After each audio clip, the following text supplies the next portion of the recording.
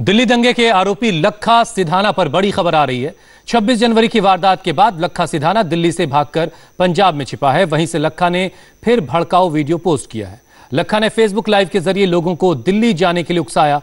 लखा का यह नया वीडियो दो फरवरी का है, जिसमें वो लोगों से कह रहा है कि उनके अस्तित्व की लड़ाई है।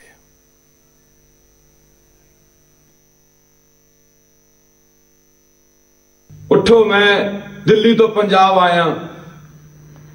ਦਿੱਲੀ ਤੋਂ ਪੰਜਾਬ, ਫਿਰ ਮੈਂ ਮੇਰੇ ਪੰਜਾਬ ਦੇ ਲੋਕਾਂ ਨੂੰ ਜਗਾਉਣ ਲਈ ਆਇਆ ਮੇਰੇ ਪੰਜਾਬ ਦੇ ਲੋਕਾਂ ਨੂੰ ਦਿੱਲੀ ਵੱਲ ਜਾਣ ਲਈ ਪ੍ਰੇਰਿਤ ਕਰਨ ਆਇਆ ਕਿ ਆਓ ਮੇਰੇ ਪੰਜਾਬ ਦੇ ਲੋਕੋ, ਹੁਣ ਸਾਡੇ ਸਿਰ ਜੋੜਨ ਦੀ ਲੋੜ ਹੈ, ਸਾਨੂੰ ਇਕੱਠੇ ਹੋਣ ਦੀ ਲੋੜ ਹੈ। ਕਿਉਂਕਿ ਹਮਲਾ ਸਾਡੀ ਹੋਣ ਤੇ ਹੈ। ਦੇਖਣ ਚ ਆਇਆ ਪੱਕੀਆਂ ਬੈਰੀਕੇਡਾਂ ਹੋ ਰਹੀਆਂ ਨੇ।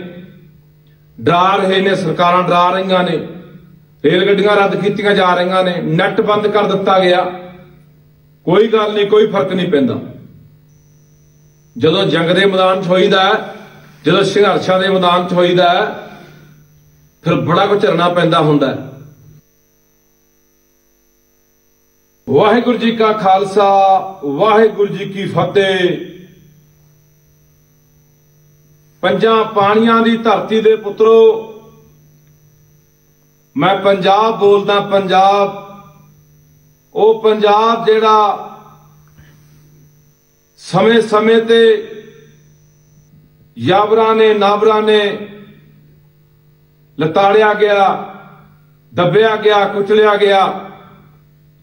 ਪਰ ਮੈਂ ਫੇਰ ਆਪਣੇ ਪੈਰਾਂ ਤੇ ਉੱਠ ਖੜਾ ਹੁੰਦਾ ਰਿਹਾ। ਉਹ ਪੰਜਾਬ ਜਿਹੜੇ ਪੰਜਾਬ ਨੇ ਸਮੇਂ-ਸਮੇਂ ਤੇ ਵੱਡੇ ਵੱਡੇ ਮਹਾਬਲੀ ਯੋਧਿਆਂ ਸੂਰਮਿਆਂ ਨੂੰ ਜਨਮ ਦਿੱਤਾ।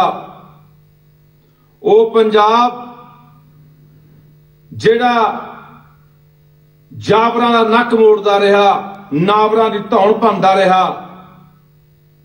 ਉਹ ਪੰਜਾਬ ਜਿਹੜੇ ਨੇ ਕਦੇ ਈਨ ਨਹੀਂ ਮੰਨੀ, ਉਹ ਪੰਜਾਬ ਜਿਹੜਾ ਦੀਨ ਦੁਨੀਆ ਦਾ ਰਖਵਾਲਾ ਰਿਹਾ, ਮਨੁੱਖਤਾ ਲਈ ਲੜਦਾ ਰਿਹਾ